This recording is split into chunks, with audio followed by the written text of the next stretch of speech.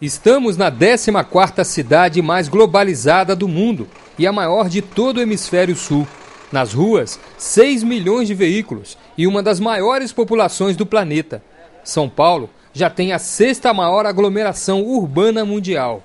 Só na região metropolitana de São Paulo existem hoje quase 20 milhões de habitantes, cada vez mais empenhados e apressados com o desenvolvimento socioeconômico do país. Com tantas ocupações, existe a possibilidade da religiosidade ser deixada de lado. O desafio da Igreja Católica é lutar para que isso não aconteça. Desafio assumido pela comunidade Canção Nova.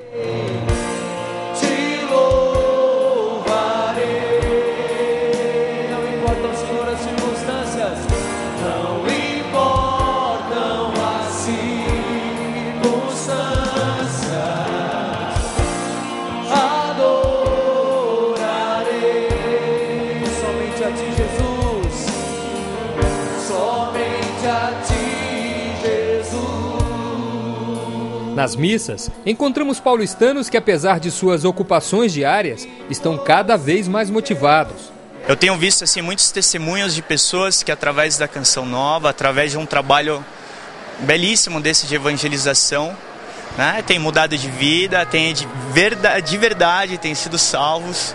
Então é essencial, é essencial para uma cidade grande, para uma cidade pequena, é essencial para o mundo. Gente que não perde a oportunidade de viver a espiritualidade, a essência do cristianismo, seja nos momentos de oração. O Senhor libera agora sobre você uma graça toda especial. Receba, receba o que o Senhor está te dando agora. Seja nas homilias e pregações de membros e padres da comunidade. As primícias que nós oferecemos a Deus e precisamos oferecer a Deus é sempre revertido em favor de alguém. É sempre assim. Deus recolhe e depois distribui de novo. É sempre esse o jeito de fazer. Por onde passa a evangelização da Canção Nova, os espaços ficam pequenos, como nas vigílias realizadas uma vez por mês na Basílica Nossa Senhora da Penha.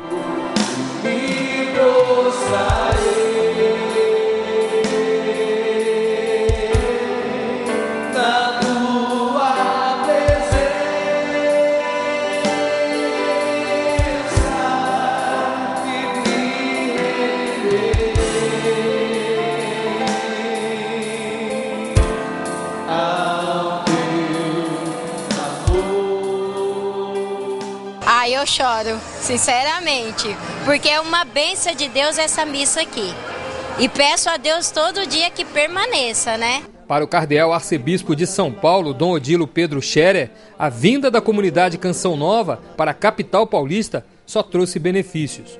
A Canção Nova contribui muito com a missão da igreja para ajudar a levar este esta boa nova, este belo anúncio que Deus habita esta cidade, às pessoas. E eh, nós precisamos eh, muito hoje, justamente também da ajuda dos meios de comunicação, para que a igreja possa fazer ouvir a boa nova, levar a todos justamente esta certeza que Deus não está longe, Deus está próximo de nós. É para ser a voz da igreja que estamos aqui. Afinal, nossa missão é evangelizar. Meu irmão, muito obrigado porque você veio. Fala para ele assim. Olha, se eu tivesse sozinho aqui, não ia ser a mesma coisa. Fala para ele isso. Mas você está aqui, é uma beleza, hein?